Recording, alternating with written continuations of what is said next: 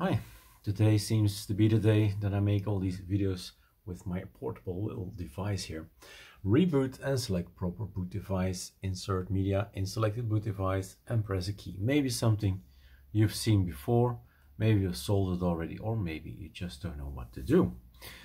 This is just a nuisance and it's I know what to do but uh, it takes time, right? Control Alt Delete right? Control Alt Delete the combo, press it, and you need to go to your BIOS settings, your your your motherboard settings. So how will we do that? Control Alt T. Let's do an F8 in my case. There is delete, there is escape. Some have F12. It's dependent on every system. Maybe you see something else pop up and then you say, oh, that's what I should do. Press some kind of combination or just one key. I need to go to this one.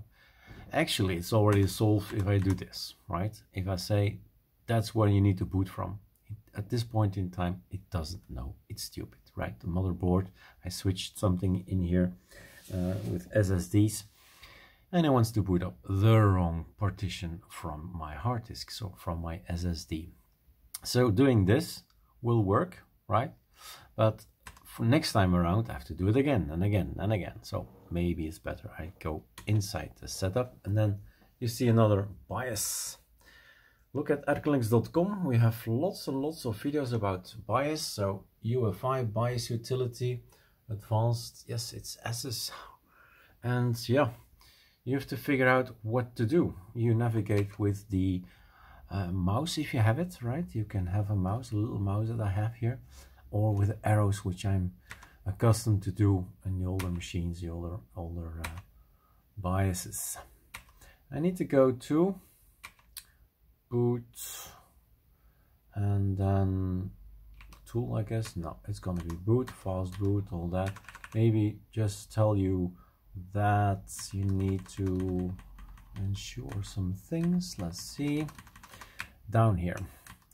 Setup mode, advanced modes, compatibility support module. I've enabled this UEFI and the legacy is enabled. Ignore, storage, ignore, no, both. And then the secure boot. Other OS is what I've selected. Yeah, we are other OS. And that's the thing here. It wants to boot up not with the UEFI, so the small partition FAT32, but with my actual hard disk. No, my friend, no, my friend. You need to go and boot from this guy. And then later on, if that's not working, you can try this one and then you can try this one, which is my, what is this? No, is this ATAPI? Is that, is this, has it still a CD-ROM? I think so. That one has still, I think the last one of, of my machines that still has a DVD. That's it. That's it tell the system where to boot up with forever and ever unless you want to have press this button all the time and boot up. So we going go for an exit. How do we go for an exit? Like this. Save changes and resets. okay. It's gonna save everything and I'm not gonna touch anything. My hands are here right? Nothing to do.